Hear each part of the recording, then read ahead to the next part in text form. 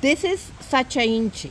This is a plant that has, you know, five or six different uh, uh, peaks and each peak has a different seed.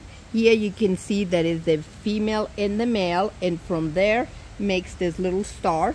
After the little star dries off like this one is when you pick it up and then on each star you have a seed like this and this is what we use to make our Sacha Inchi. As you can see, we have to wait that it's all dry. This is a very, very healthy plant that is growing here and we expect that this will be ready to harvest in uh, roughly about another uh, month or so. So as you can see, it's a very healthy, healthy plant.